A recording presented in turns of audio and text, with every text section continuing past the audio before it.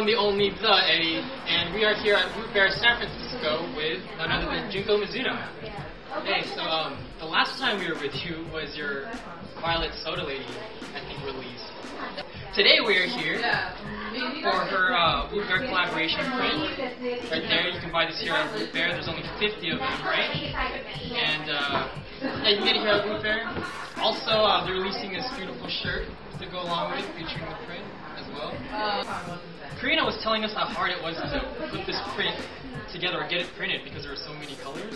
What was it like? Really? Yeah, she was saying that like typically silkscreen prints are like three colors, Yeah, I think. so it was hard for them to find a printer for it. Yeah, she told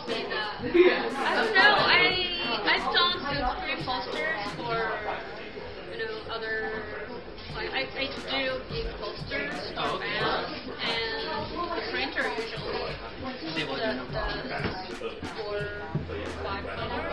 But I think that's because it was the first time for me. Oh, to do something. Yeah, but I think it came out great.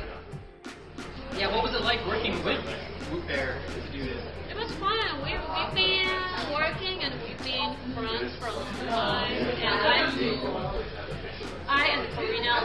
Live in the same neighborhood. She's like three blocks away. Oh wow, there you From go. my place. So what do you got planned for D-Con?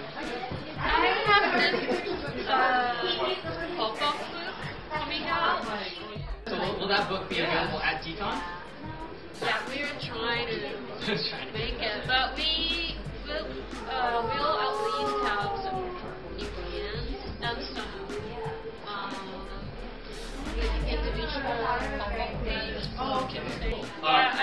there, so I want people to come to the booth and take a look at the, the actual pop-up because it's very looks even better than photos Oh, it's better, way better in person. in person. Yeah. So you guys hear that? You guys gotta come to D-Con so you can hang out with Junko and check out her pop-up book, alright? cool. Alright, Junko, thanks a lot. Thank you so much. Don't forget, come by Kid Row, oh, come by SF and pick up, pick up a print and a shirt. And don't forget to check out Junko at D-Con, coming soon in November. So, uh, alright guys, you know where to find us, retrenders.com.